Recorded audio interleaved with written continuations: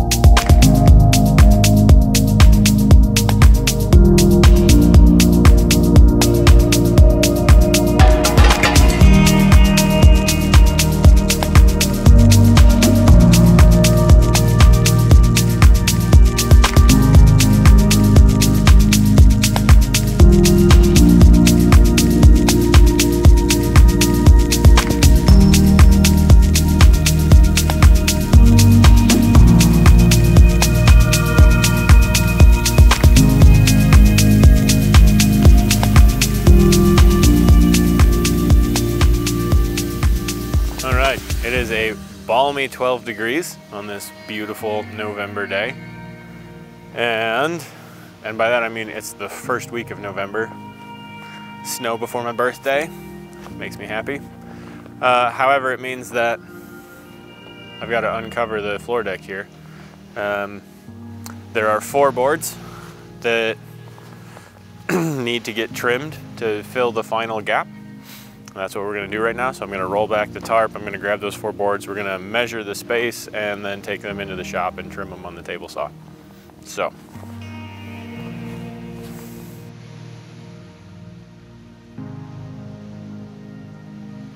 Let's jump in and see what we can do.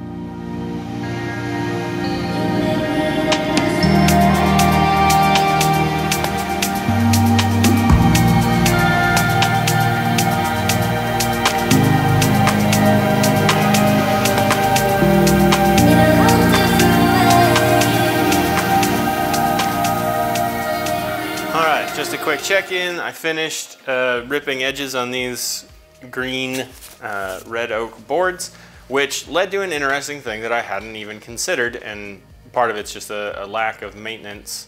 Um, I'm behind in, in re-waxing my table saw table, but as I was cutting, I was you saw I was building up like a pile of shavings and, and sawdust and whatever on the edge of the pile, or on the edge of the table. When I went to brush that away, I discovered all this flash rust underneath the pile because there's so much moisture in these boards yet. You know, they're coming off logs that have been sitting, but they've been sitting in ground contact or maybe they've been in the pile, um, but they're still, uh, oak especially holds just tons of moisture. Uh, I haven't put my meter on them to see where these are at, but I'd be willing to bet they're between 20 and 30 percent, which is also part of why they're so damn heavy. But you can see as, as they're being cut, it's like cutting into a rare steak or like a seared rare steak. The outside looks nice because it's been air drying for a couple days. Uh, but as soon as you make that rip, the inside's still like this meaty, pinky red color. And yeah, it just looks like, like fresh steak or something. So anyways, I took a break to, to spray down my tabletop, my table saw with WD-40. Uh, however, these are all cut. I cut a 90 degree edge, and these are because they have true edges, true. I don't have a jointer, so this is as true as I can get on the table saw. Um, true edges and a 90 degree uh, end. So these should actually butt up and fit really nice. Uh, I also took the torch and just uh, charred that inside edge where they're going to butt up together. What I think I'm actually going to end up doing is taking up all of the floorboards um, and charring edges and coating all of them in um, a 50-50 motor oil diesel fuel mix um, as a, a, DIY pressure treatment um, just to help them last a little bit longer. And really because red oak will last a phenomenal long time as long as it's kept dry. And so what concerns me is just that those floorboards are exposed to the elements underneath um, and like condensation can build up under there. Uh, and so it's kind of within that two foot splash zone of the, of the ground, even though there shouldn't be any water standing underneath there. It just I don't want to have to take the frame apart or lift it off the deck in two years because red oak will rot surprisingly quickly if exposed to moisture. Um, so it'll be a little extra work. It'll suck in the cold, but we'll pull all those up and treat them and then put them all back down. So. All right, let's go put these on the deck so they don't twist and warp and get weird. Get back to it.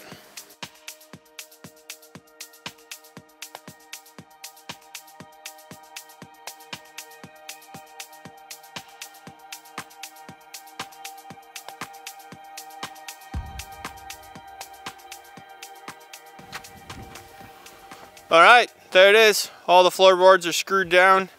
Uh, as I was screwing them down, even though These, uh, the ones that I just trimmed are nice and fit together very cleanly. Um, the other ones uh, don't, so they're not 100% perfect. Um, and I'm still debating, I guess. I said I was going to uh, pull these all up and rip them down. Um, I think what I might do is just treat them as they are. Um, and then there's still enough room to crawl underneath and, and paint the bottoms um, of these, of all the boards. Um, so I think I'm going to do that instead. Uh, but right now, so the next step is to take the circle saw, trim all the edges off um, on both ends, and then come back with the uh, with a router and a flush trim bit and clean up that edge flush to the uh, 2x6, the green treated 2x6 there. Um, and then I, just like these boards, um, I'll char the outside edge and then we'll treat everything with the, the motor oil and, and diesel fuel 50-50 mixture. So that's the next step after I, uh, I think first I'm going to pull the tarp all the way off and, and sweep just to get the get this snow off. So let's do that quick.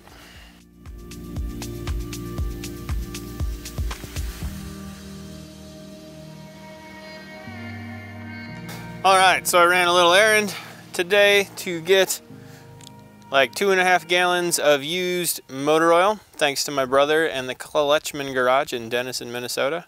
just dumped it out of their, uh, their waste oil uh, catch. and at five gallons of diesel fuel, which means I'm gonna steal two and a half gallons, dump it into that bucket, and we'll have five gallons of uh, mix to treat this floor. And we're gonna paint the top and the bottom. But today I'm gonna paint the top because it's easier. And I think Saturday it's supposed to be 40 degrees. It'll be beautiful for crawling around underneath the underneath the deck here. um, first things first, I've got to take the circ saw and cut our edges to length. I'm going to char the ends um, and then mix this up and start painting. So we'll get that done real quick and uh, try to think if there's anything else. Oh, I already, uh, earlier before I turned the camera on, I already came out with the chalk line and snapped my line so I can see where I'm cutting. Um, and I'm going to cut a little bit away from it. Um, because I'll try and find my, uh,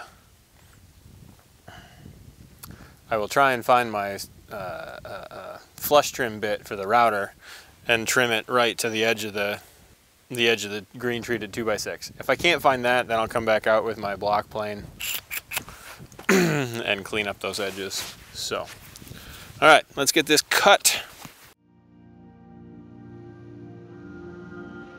All right, now that that's done, I'm gonna go get my torch. We're gonna char all these ends. Um, and then we'll mix up that uh, the fuel.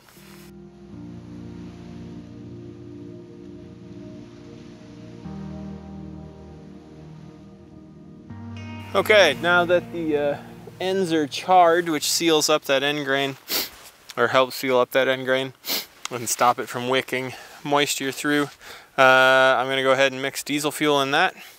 I ju just, before, I should say like, uh, I should have charred these ends before I installed them. I should have cut these to the proper length and charred the ends before I installed them on the frame burning them on the frame like this was a bad idea. Um, and then especially be super duper careful anytime you have flame near combustible material. The nice thing people have asked about the flammability of this, like oil and the diesel fuel are not like match light and once the diesel fuel evaporates off of this it shouldn't like there's no flammability to this uh, when it's done. So I'm gonna mix that up and we're gonna start painting this half.